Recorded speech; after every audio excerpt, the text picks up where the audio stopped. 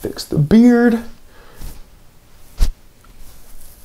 Oh yeah. All right guys, it is Friday. I'm T3, which means it's time for a Friday T3 watch rant. Now guys, these Friday rants have become a really good vehicle for me to kind of expand and elaborate on some questions that I seem to get all the time. And one of those really consistent questions is, hey T3, what's the cheapest watch you wear? Well, it is three o'clock on the button. Let's get down to business. G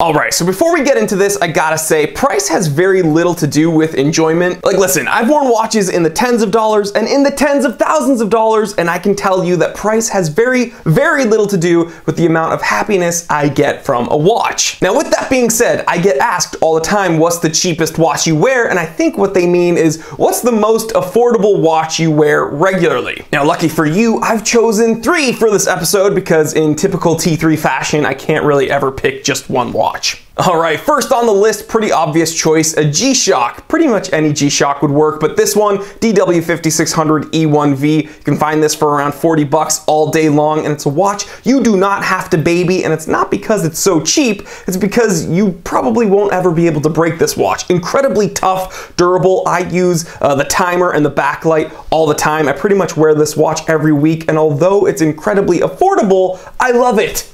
Again, affordable, tough, durable, no frills, but tons of functionality.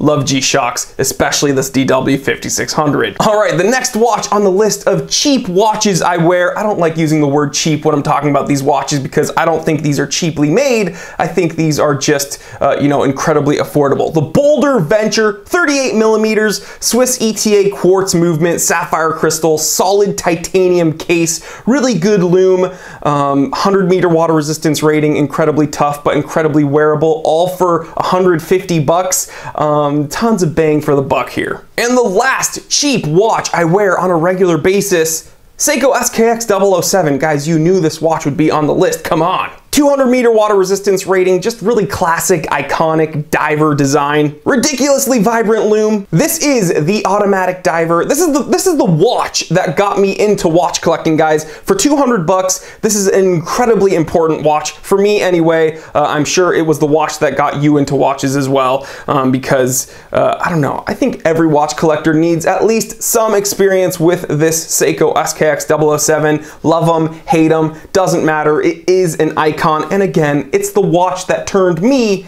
into T3. So, gotta love it. And guys, listen, I know on social media, in the watch forums, in the watch world, everybody wants to talk about the most expensive watch they have, but I have uh, a little chore for you guys. Let me know in the comment section, what's the least expensive watch you have? Which watch do you wear regularly that's not expensive, but you love it? I've shared three of those watches with you, so it's your turn. Let me know in the comment section. And as always, guys, if you want to support the channel at all, go ahead, click the link in the description below and shop around at the Time Teller shop. I actually have all these watches there there if you want to check them out. So again, click that link. I got watches, watch accessories like watch straps, watch winders, watch toolkits even, the one-stop shop for the watch collector like you. So shop there, helps me out, and I'll love you for it. And if you're new here, if this is your first time joining us here at the Time Teller channel, I want to say thank you so much for stopping by, but let's make this a little bit more official. Go ahead, click that subscribe button. It takes one second and it helps me out a ton. And while you're at it, you can go ahead and click that little bell icon so you do not miss out on an episode of the Time Teller. There is just so much more awesome content content on the way. You don't want to miss it. I'm telling you guys, please like, comment, and subscribe. Share this with other watch enthusiasts, other people that you think would enjoy this. I'm Jory Goodman, the Time Teller, and always remember, I didn't invent time. I just tell it. All right, well, if you enjoyed this episode, please consider subscribing to the channel because there's a whole lot more where that came from. Also, I have no idea how YouTube works yet. Hopefully in the future I'll get the hang of it, but I think there should be some recommended videos for you to watch. There might be one over on this side of the screen. There might be one over on this side of the screen. Who knows where they're gonna be? YouTube's always changing. Life is always changing. You know, there's a lot to learn about life. Um, we'll save this for another episode. Anyway, click one of these videos, watch it, subscribe to the channel. I love you. Boldr Expedition. This is not the Boldr Expedition. This is the Boldr Venture. My bad.